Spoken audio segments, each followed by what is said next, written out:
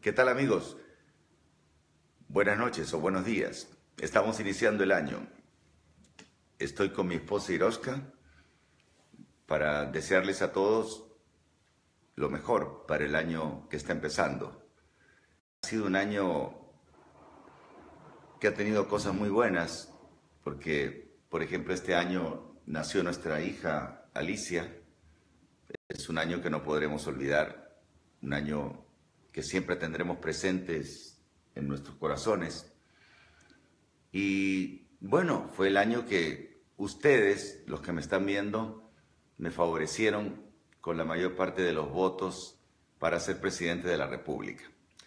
Nosotros vamos a luchar en este año 2018 fuertemente para que se respete la voluntad que ustedes expresaron en las urnas tengan la plena seguridad que vamos a, estar trabajando en eso a partir de mañana martes. Y digo mañana martes porque hoy ya es lunes, aunque estamos empezando el lunes y todavía no nos hemos acostado en el 31 de diciembre.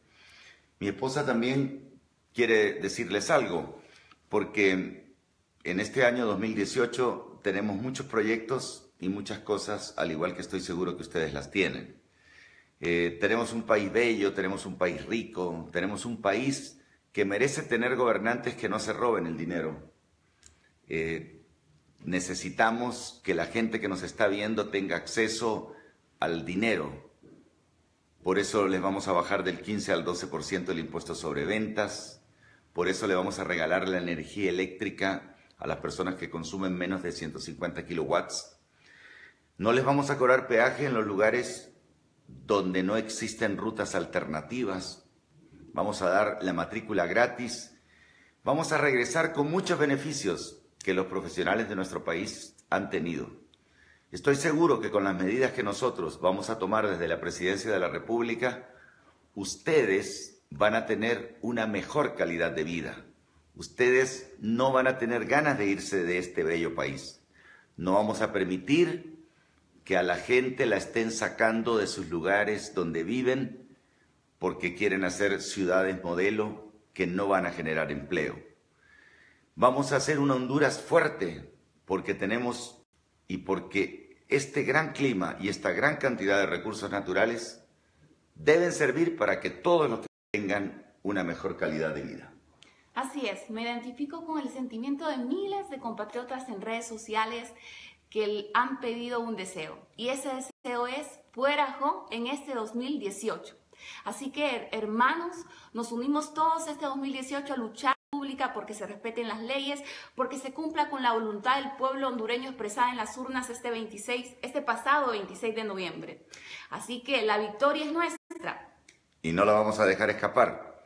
Tengan fe y por favor acompáñennos porque Independientemente de todos los sabotajes, de los cortes de energía, de los cortes de internet y de todo el sufrimiento, hay gente que ha sufrido más que nosotros. Hay gente que ya no está en este mundo.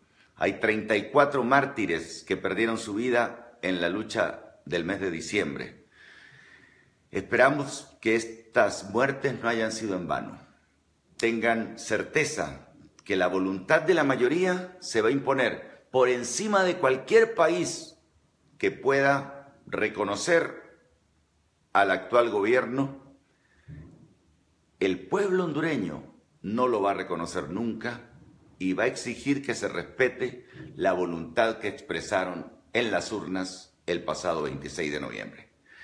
Les quiero decir un feliz año. Y yo sé que vamos a tener un feliz año porque más temprano que tarde, más temprano que tarde, la justicia divina del que todo lo mira, todo lo sabe, que es el divino creador, se va a imponer por sobre las voluntades mezquinas de los impostores y ladrones que hoy nos tienen postrados como una nación que debe miles de millones cuando podría ser una potencia por lo menos en Latinoamérica.